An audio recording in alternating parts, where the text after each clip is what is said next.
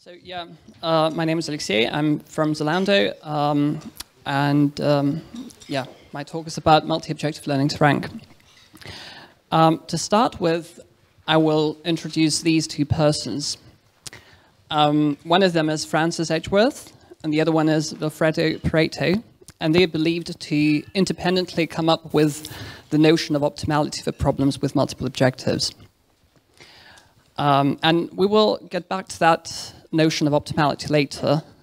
But for now, let's discuss what um, multi-objective optimization is in general, and why do we have to deal with such problems at Zalando.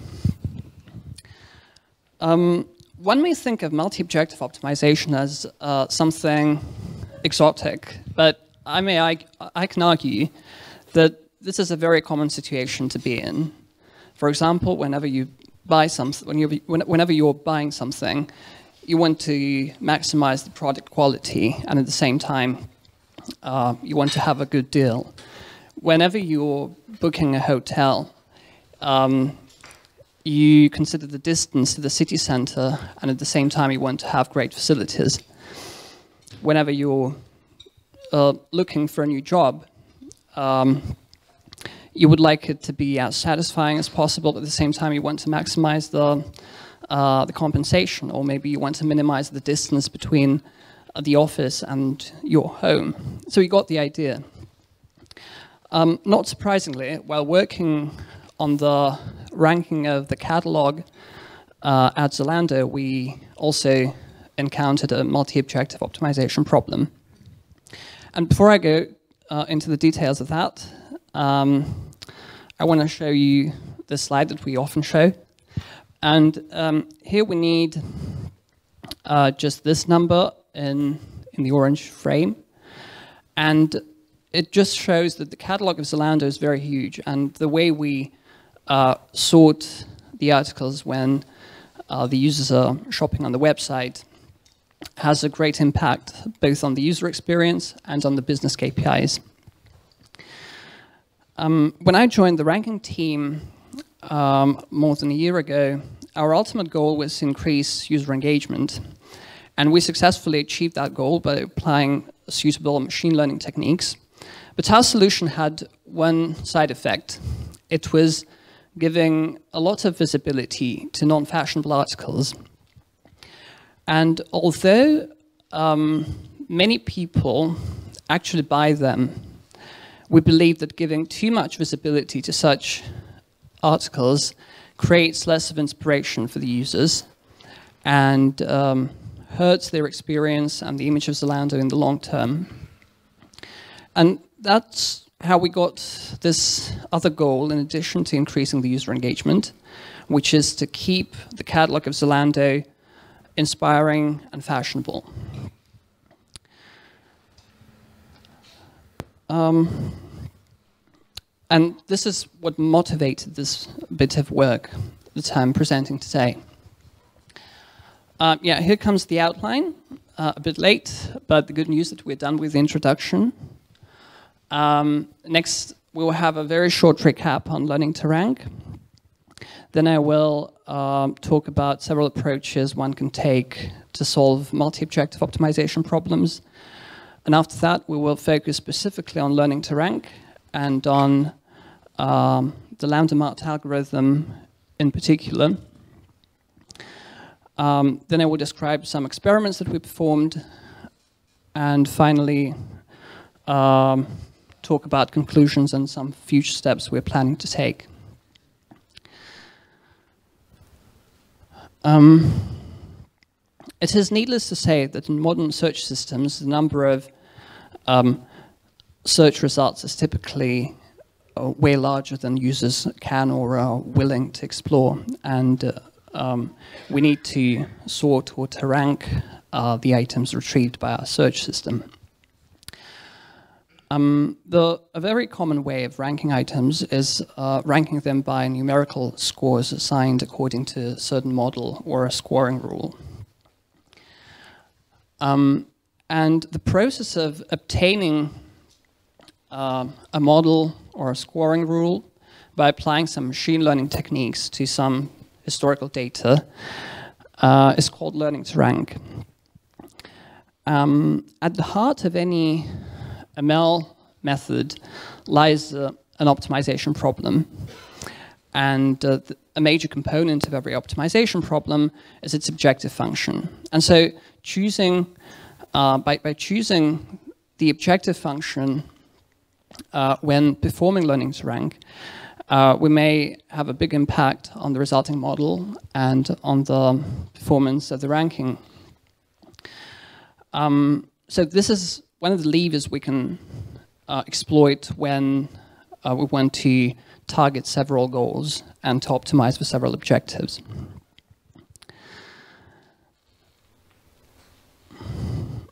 Uh, to make things a bit less abstract, um, I want to give this example um, of a very popular ranking metric that can be used as an objective. Uh, this is an instance of the so-called normalized discounted cumulative gain that, that, many of you are familiar with, I'm, I'm sure. Um, here, the index is used to, to enumerate um, different result lists in our data, and the index j is used to enumerate items, individual items in these result lists. And um, so for the sake of brevity, I won't go into the details of the metric itself, but I, I, want, I just want to stress that um, the key to the definition of um, any instance of NDCG is the definition of individual item relevance. And here in this example, the relevance is assigned based on the interactions that the users had with the items. So if there was no interaction, then relevance is set to zero. If the, if the user clicked on the item, then it's one. And if the user uh, purchased the item, it's three in, in this particular example. Um,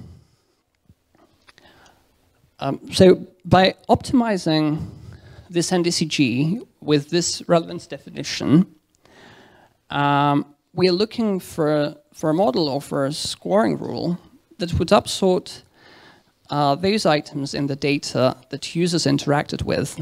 And by doing so, we're expecting to obtain a model capable of identifying and bringing up uh, those items that the users are likely to interact with on the next day when the model is deployed. Um, however, um, this is not the only objective we can consider. Say, even if we, we want to optimize the user engagement alone, uh, still there are other sources of relevance and uh, other indicators of item relevance that we can use instead of um, user interactions. For instance, we may um, use the explicit feedback that, that users give, such as their likes or dislikes. And also, uh, we may use um, labels assigned by human assessors, for example, fashion experts. And this gives us a different definition of relevance and leads to a different objective that we may want to optimize as well, together with the interaction NDCG presented, presented before. And also, in addition to customer engagement, uh, we, we, can have other things to optimize for. Um, for example, at Zalando, we care a lot about post-order customer experience, and we may want to minimize the return rate or to, to, to reduce the delivery times. And finally, as I mentioned before, uh, in the context of fashion, optimizing solely for user engagement can lead to giving a lot of visibility to non-fashionable items. Um, and therefore, we, can, we, we may want to optimize the fashionability of our catalog together with the engagement.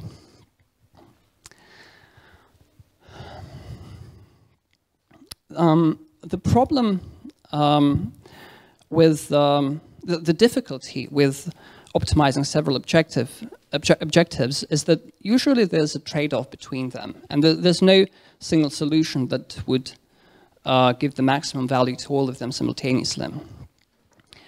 Um, at the same time, it doesn't mean that all solutions are equal, because there can be uh, dominated solutions.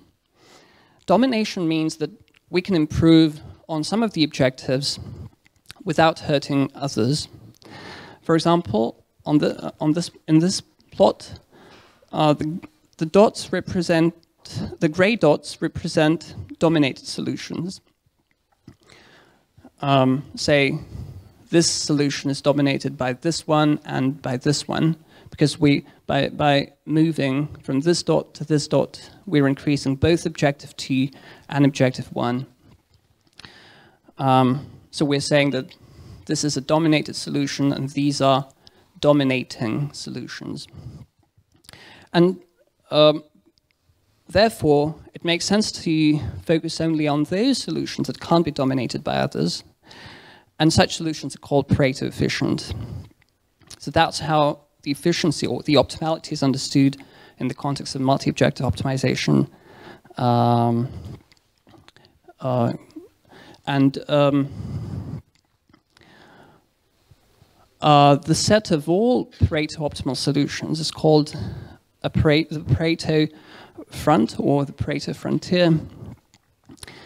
Um, and, and when, when we optimize for one of the two objectives alone, say, say for, for objective one here, it is natural to expect that we end up somewhere near this orange uh, dot here. And at the same time, the, the value of objective t corresponding to this dot can be too low. And instead, we may want to have somewhere somewhere in the middle of this Pareto fr frontier. Um, and the question is, of course, how do we get there?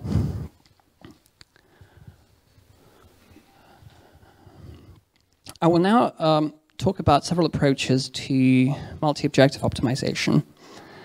Um, and while uh, I will be presenting them, let's think. Uh, let's have in mind uh, that we have two ranking metrics based on two different relevance definitions, because uh, there's typically some relevance definitions behind any ranking metric. So the first approach one can take when there are several goals uh, to, to target is to optimize for one of them and then post-process modify somehow the resulting solution to address the other goal. So that's probably the most uh, primitive way of um, um, of solving such multi-objective optimization problems. Uh, in our example of fashionability and user engagement, we may we can, for example, optimize for user engagement alone, obtain a model and then multiply the scores that that, that that model assigns to the different fashion articles by a certain fashionability score to also improve um, fashionability. Um, the other thing we can do is to redefine our relevance. So we can define a new relevance uh, that would take into account both the interactions that users had with the items and the fashionability of them. Um, say, just continuing this example, we may assign different relevances to fashionable and non-fashionable articles when they are purchased. Um, the third approach is called scalarization. And scalarization is, uh, consists of combining uh, the objectives, the several objectives that we have, into a single scalar function and then optimizing that function. The most uh, straightforward way of doing so is to form a linear or, being more precise, a convex combination of the, of the objectives we have. Um, and scalarization can be illustrated by this picture here. So if we denote the, the value of the first of the of the first objective and of the second objective on the real line with these two gray dots, then the value of the combined objective will lie on the segment between the two dots, and the position of this value on the segment uh, is determined by the this parameter alpha. Um, scalarization has several properties that are worth noting. Uh, first, every any solution that, it, that is produced by scalarization is necessarily Pareto efficient. Um, it is pretty straightforward to see because, say, if we pick any value of alpha uh, from, from this interval and solve this optimization problem and get a certain solution, then there can't be another solution that increases one of the objectives without hurting the other one, because in that case, this hypothetical solution would give a higher value to the scalar function, and that would contradict to, to the fact that we obtained a, a solution to this scalarized problem um, on the previous step. Also, under some assumptions, uh, this method allows uh, finding any Pareto optimal solution that exists in the original problem. And also, this method is more straightforward to apply when we have more than two objectives compared to the other two approaches. By varying the value of alpha, we are thus generating different Pareto efficient solutions. And the question is, how do we one of them later to bring to production? Here we can take the following approach. We can um, specify a constraint on some of the objectives and um, pick that Pareto efficient solution that satisfies this constraint and uh, brings the, the best value um, to the other objective. And the constraint can be set on the existing baseline, for example. So if there's a, so let, us say this gray dot here represents the existing um, baseline. This is currently in production. So we may say that we want to keep the value of objective one at least at the current level, and then pick that Pareto efficient solution that satisfies this constraint thus lies, that thus lies above this dashed line and gives the maximum value to the objective one. I should say that in such situation, we can also use a constrained learning to rank method. And constrained learning to rank is, a, is an area of research at the moment. Um, in particular, if, if, you're interested, if you want to uh, use constrained learning to rank, I um, I would uh, refer you to this recent paper. Um, and constrained learning to rank would um, amount to uh, taking one of the objectives and maximizing it subject to certain constraints on the other. Um, uh, yeah, so as I said, this is an area of active research at the moment, um, and we, we didn't use this approach in our experiments. Um, now I will talk about how one can implement scalarization uh, using um, lambda mart uh, using the LambdaMART algorithm in the context of learning to rank. So how can how can one learn to rank uh, with multiple objectives? Um, and I will be focusing now on the scalarization approach. Just as a, as a um, short reminder, um, the LambdaMART algorithm is a boosting algorithm for optimizing ranking metrics, such as NDCG. And its iteration consists of two steps. On the first step, for every item and every result set in our data, we're computing the so-called lambda gradient, which can be interpreted as the desired change in the current score assigned to that item. And then at the second stage, we approximate um, this lambda gradient by growing a decision tree, and that decision tree is added to the ensemble. Um, so here's uh, an animated uh, image that shows the process um, of um, of um, building a model by this LambdaMART algorithm.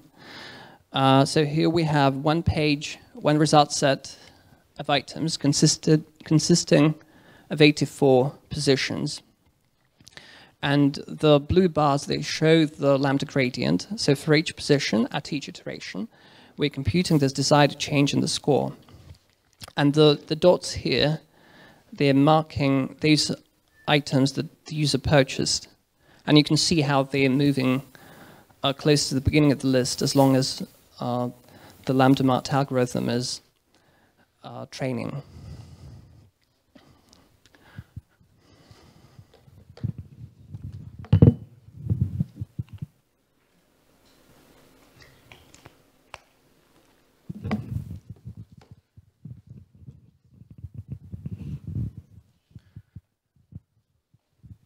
Um, now, in order to implement the scalarization approach, we can just uh, compute the lambda gradient, so this desired change in the score, using one of our metrics, um, one of the objectives we, we, we want to optimize, and do the same for the other objective or for um, the other objectives if we have more than two objectives.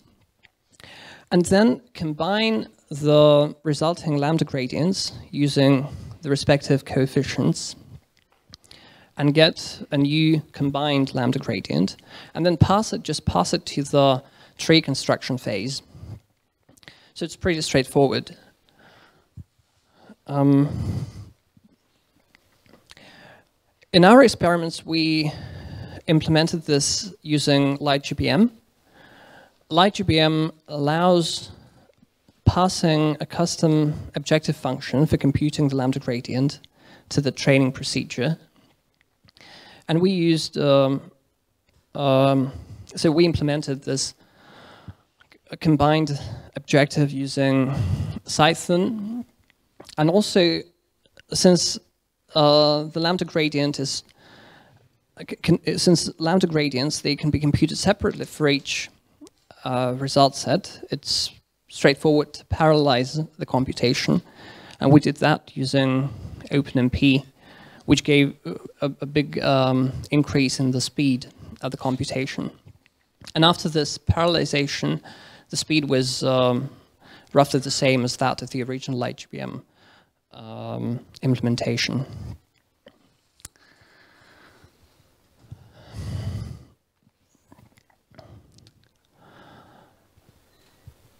Um, then we performed several experiments using a data set from um, the catalog of Zalando. It consisted of roughly 50,000 result pages collected when the users were browsing the website or searching for something in the catalog.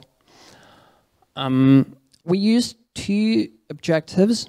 Both of them were instances of NDCG, but with different definitions of relevance.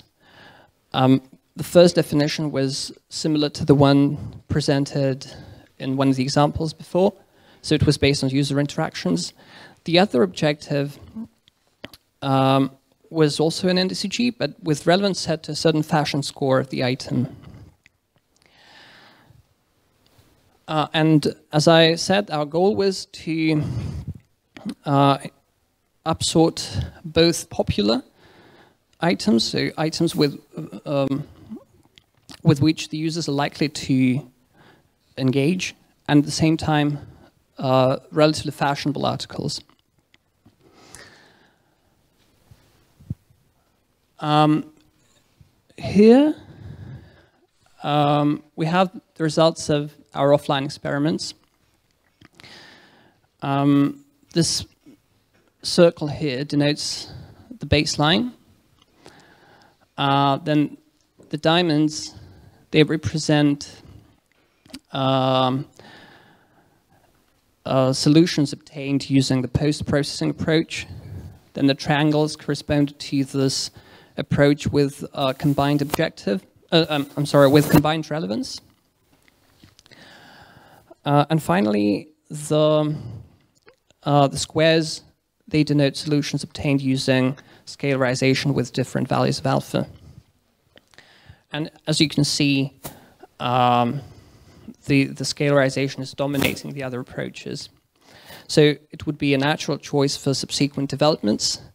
But some further investigation um, showed a, a, a, certain undesirable effect of the solution obtained using scalarization.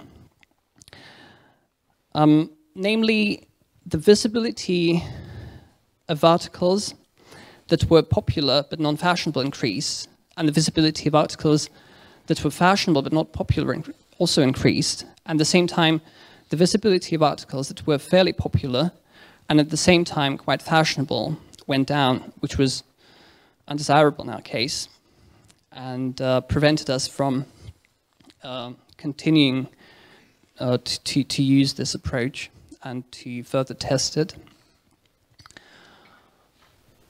Um, and this brings us to uh, to at least two conclusions. The first one is that a Pareto efficient solution can have this mixed effect. So it may it can give um, higher visibility to articles that are popular from the viewpoint of each of the objectives that you have individually, but at the same time give lower visibility to articles um, relevant from the viewpoint of all of those objectives simultaneously. And second, the evaluation based on this, based on this multi-objective space can be misleading because we had a dominating solution in that space, but it didn't result in a really better scoring rule, at least given um, these additional uh, requirements that we have. Um, and as some future steps, we're planning to further experiment, experiment with a combined relevance approach. So we want to see if um, um, it, it, it, has the same mixed effect or um, whether it's better in this regard. And also with um, the data set, the augmentation. For example, we may, in order to solve this fashionability issue, we can try learning from uh, data generated by users who actually buy fashionable items.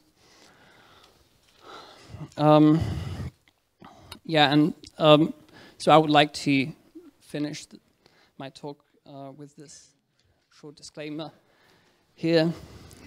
Yeah, and of course we are hiring. Yeah.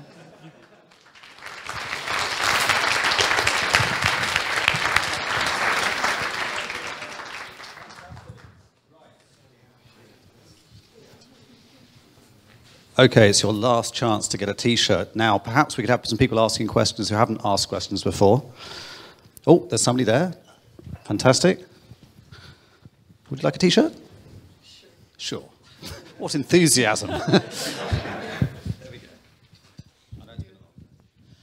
Thanks. Cool talk. Um, I'm wondering about the concept of fashionable, how you determined what is fashionable and, and um, um, and also, kind of like how, if one item is super popular, but you determine it to be unfashionable, why is that so bad? Well, um, well, uh, two points here. So one thing is, of course, fashionability is a subjective uh, thing, and in our case, we're just using certain fashion scores that are created by a separate team that um, I hope consists of fashion experts. Um, um, so we're just using that fashion score as uh, the input, and the guideline from the business side is that they would like uh, us to trust this fashion score and to uh, upsort such articles, given that they are popular enough. Um, the second thing about um, uh, of course, as I said, the different objectives they can contradict. He, uh, they, they can they can be a trade-off. So some articles can be very popular but non-fashionable. Others can be uh, fashionable but not popular. and we have to balance that. And um, also, I would like to mention that this uh, this is concerned with a ranking of the whole catalog, um, like the whole result set, before um, all the further steps that are applied afterwards. Um, and so we just need to balance this. Okay, do we have any other questions?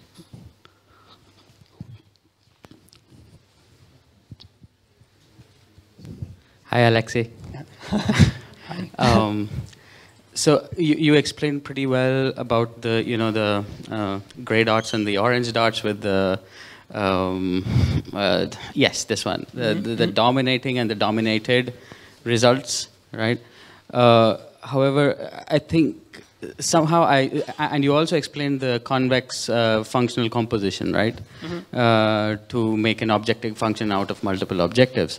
Now, from here, what you explained was that the dominating uh, records or dots there mm -hmm. uh, are dominating only uh, are dominating as long as they are in one dimension, right? Mm. Well, domination means like say this dot is dominating this one because uh, when you go from this dot to this dot, you improve both objective two and objective one. So, yeah, so, so, so what I was wondering was like if if if your objective function is uh, well defined as dom as selecting for or optimizing for dominating records which are dominating on all dimensions, right? Then uh, it, it's a little bit surprising that the outcome you get is uh, that the results with uh, optimality only in one objective's dimension are being pushed up rather than both. Uh, so how do you explain that? Uh-huh. Uh, sorry.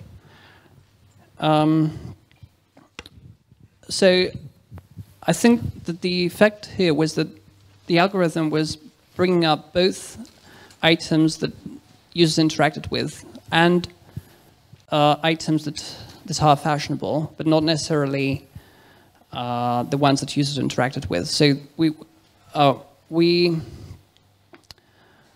um, my hypothesis is that we got a mixture of uh, fashionable and non-fashionable but popular items on the top of our uh, result sets, and that's how the, the algorithm managed to optimize both of the objectives and bring the improvement to both of them. But this is not what we wanted. Actually, we wanted to bring up relatively popular and relatively fashionable things. Okay, do we have one final question? It's got to be, it's Doug or Max, isn't it? I have to choose between you.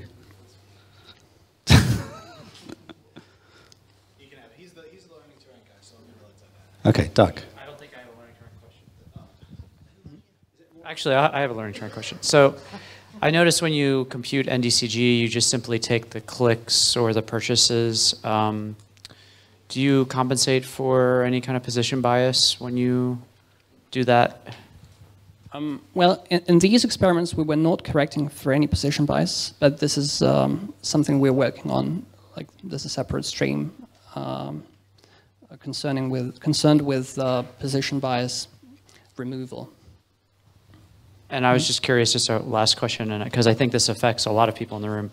Um, I'd be curious on your thoughts on NDCG for a grid of um, grid display of search results, because so many classic search metrics expect a list, and I presume you guys show a grid, and whether or not the NDCG oh. really captures the sort of the ranking involved that you want to optimize. Um, yeah, that, that's a, a, good point. Um, indeed, we, we do show a grid of items instead of uh, just a list. But for now, we, we, we, we've been just using NDCG. So we didn't account for our specific display. Fantastic. Thank you, Alexey. Thank you.